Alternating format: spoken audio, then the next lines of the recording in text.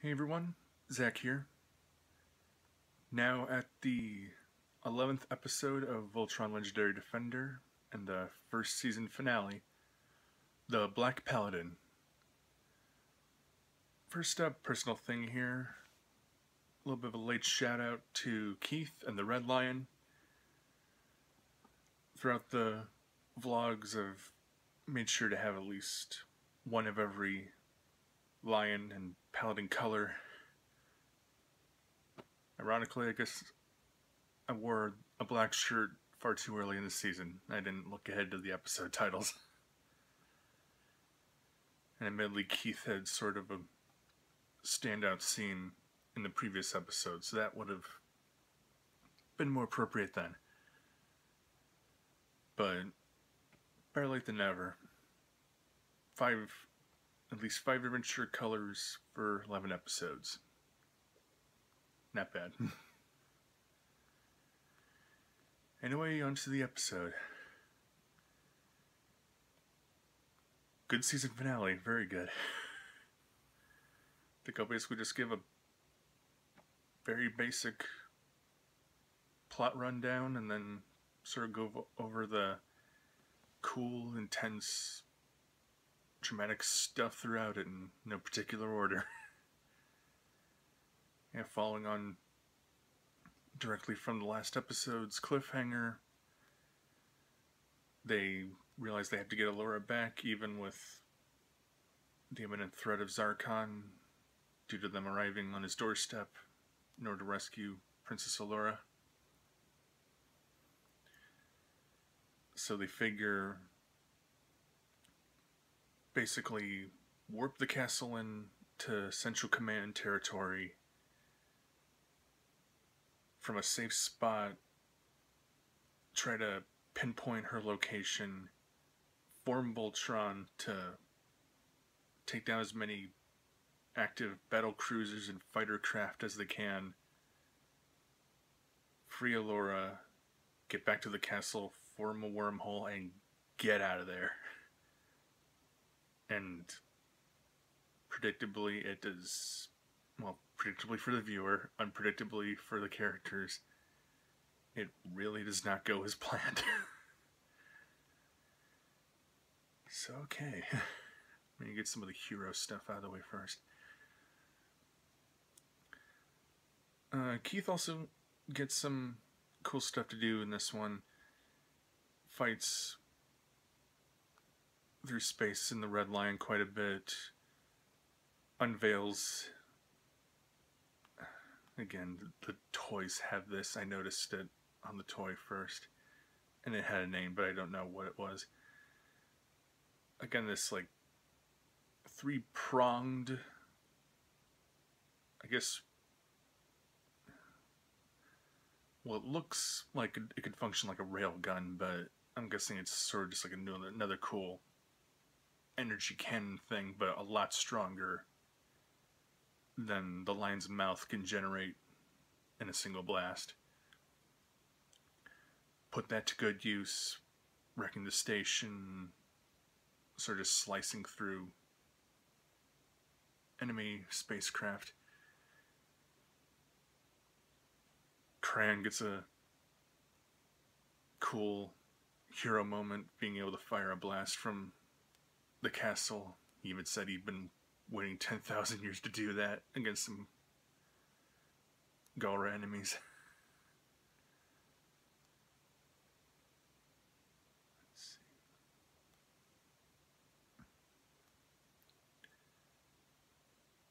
Voltron's offensive capabilities are impressively ramped up in the opening battle forming blazing sword while both hands are smashed through the hull of a battle cruiser so it helps it slice through it more easily. Using the sword basically as a I guess sort of like a heated wedge it rams a few battle cruisers in, in short sequence making them all explode quickly forms the shoulder cannon, uses a lot of the scatter blasts to eliminate several ships in a matter of seconds. like they do not want to mess around. They for this battle they just want to get things over with as quickly as possible. but then the Galra demonstrate quite a few crazy things. Through apparently some cooperation with the Druids, Zarkon can basically freeze Voltron in place and forcibly separate it. You know, like right after the opening battle, it's all the individual lines from then on. I'm guessing through Shiro's arm can partially hack the Black Lion and basically force it into a tractor beam in an attempt to seize it.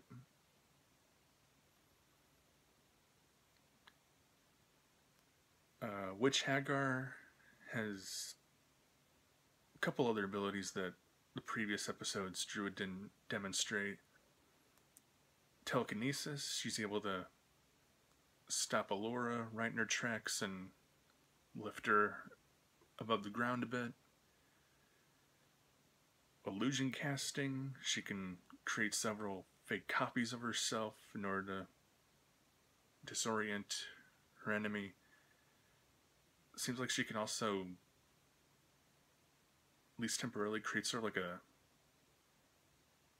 nightmare kind of illusion space to really confuse and potentially frighten the other person.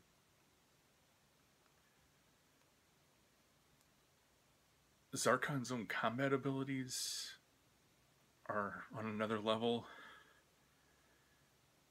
Outside of his sort of regal, well, underneath sort of his regal armor, he's got his own paladin esque battle suit, enhanced strength, integrated jet boosters, and unless he has some kind of invisible helmet, apparently he can safely breathe in the vacuum of space. and he also has what might be a Bayard. It's very multifunctional handheld weapon, but it could form a colossal chain whip, several different kinds of swords, a cannon, all with the capability, all with the capabilities of damaging or at least stopping a Voltron Lion. At least under the current piloting capabilities of the Paladins he notes that, I mean, understandably, people like Keith are only using them to a fraction of their potential. But it was crazy for him to take go toe to toe with an enemy that's hundreds of times his size.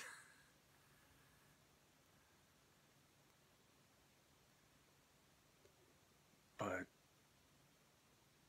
they do start succeeding despite those many setbacks. Shiro helps get Allura out. Black Lion is reclaimed. Keith and the Red Lion manage to get off to safety.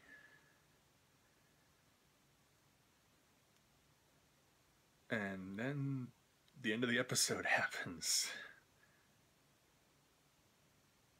hopefully right around the time this premiered or even before that hopefully the news came that it was renewed for a second season because if it wasn't oh man would the viewers have been losing their minds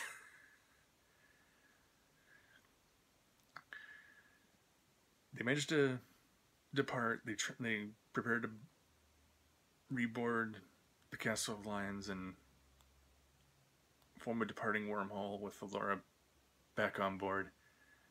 But the solar shield, I believe is what they called it, is still in effect, making them unable to leave. But it's soon shut down because, I guess unknowingly to them, there is a turncoat in Zarkon's inner circle, basically. I don't think he was given a name, but I think he was one of like Pryrock's lieutenants. I'm not sure his voice actor. He had a little bit of dialogue, but I'm guessing he'll be in the next season quite a bit. Unless they really want to keep him mysterious. they open a wormhole, they're just about to leave. But then, through another cooperative effort of the Druids with Haggar at the center, they unleash some mystic blast upon the portal just as our heroes enter it, making it dangerously unstable. Apparently, scattering the castle and each of the lions to several points randomly throughout space. Also, a quick little character detail that was mentioned that really opens up possibilities. When trying to seize the Black Lion, Zarkon said it would return to its original paladin. Is Zarkon the original Black Paladin? like, was Voltron originally kind of a cooperative weapon amongst several civilizations, and the Black Lion managed to go back under Altean control just before, or just as Zarkon was getting really power hungry? Or is it someone else that Zarkon knows of? Again, uh, we'll find out at some point, I'm guessing. so yeah, that was the season finale. really ending on a strong note. Um, to sort of sum up the overall season, my thoughts on it, I really enjoyed it. I know I guess I kind of watched it wrong. It being a Netflix show, it's over recommended to be binged. But even piece by piece, it was interesting. And it was very enjoyable.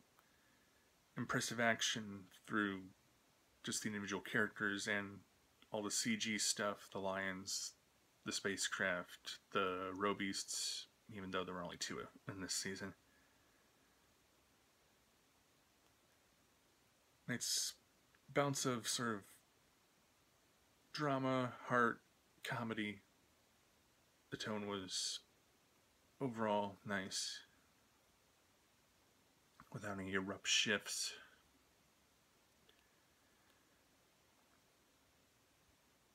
Um, minor complaint on characterization that maybe they'll improve with the next season, especially with how the premiere is likely to go.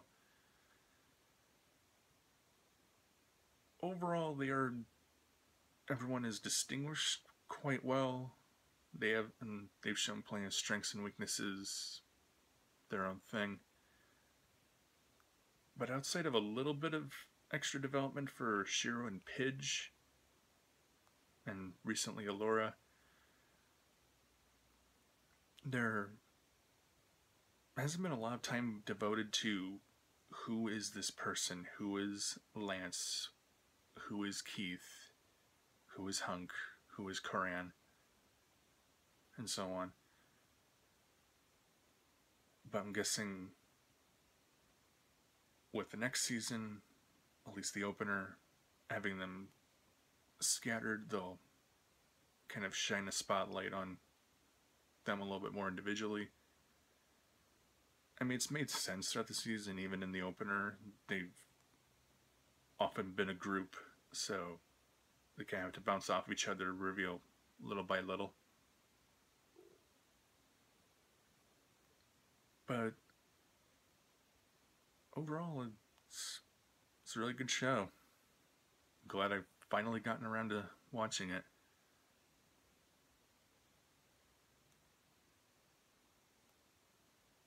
Okay, so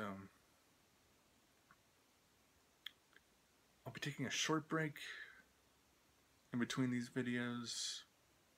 Like I said at the first one, scheduled to be three days in between this episode and the season two premiere. Because then one episode per day per, for that, and then a three day break after season two. I'll be able to start the season three vlogs right as that season is released on Netflix. So, see you then. Onward to episode 12 very soon.